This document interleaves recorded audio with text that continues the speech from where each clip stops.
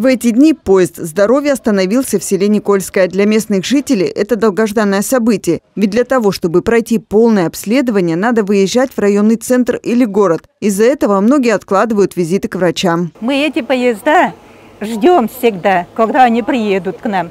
А в Березовку ездить, время же надо. Я вот давно собираюсь, собираюсь, собираюсь, и все времени не хватает. Уже сколько времени я собираюсь.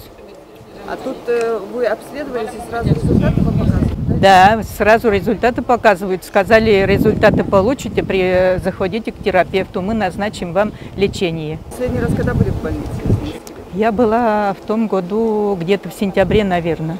В село Никольское поезд здоровья приезжает уже второй раз, и жители стараются не пропустить диспансеризацию. Особенно пожилые люди после 60 лет, говорят медики. Ведь для них добраться до центра и пройти необходимое обследование порой еще сложнее. Мы подготовились к этому мероприятию уже заранее, известили население, подворный обход провели, депутаты помогли, работники фельдшерско-акушерского пункта извещения раздавали подворно, мы в вестях и размещали объявления, повесили, народ принял э, это очень довольный, потому что первый день, как Сабантуй у нас проходит это мероприятие. Анализы сдают, флюорографа проходят, всех врачей проходят. Есть такие люди, которые в жизни ни разу в больницу, больнице не бывают, особенно в малых деревнях.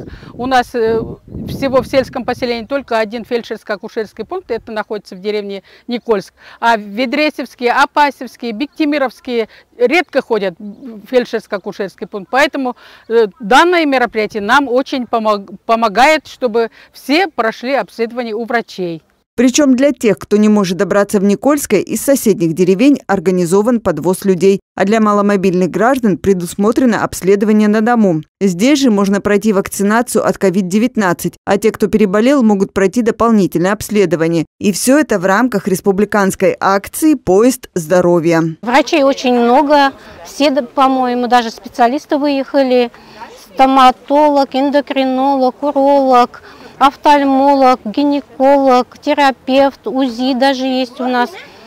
Ну, флюорограф стоит, флюорограф есть, ЭКГ, сразу проходят вот ЭКГ, мочу сдают, сразу к терапевту идут, сразу к урологу, уже с анализами подходят врачам, уже диагнозы сразу ставят. У нас поезд здоровья будет стоять два дня.